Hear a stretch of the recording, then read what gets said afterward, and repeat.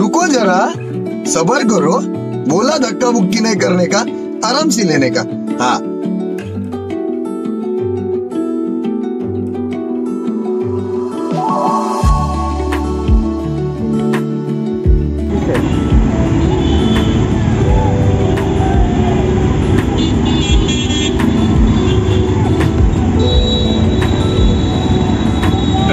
Hey, y'all, come look at this.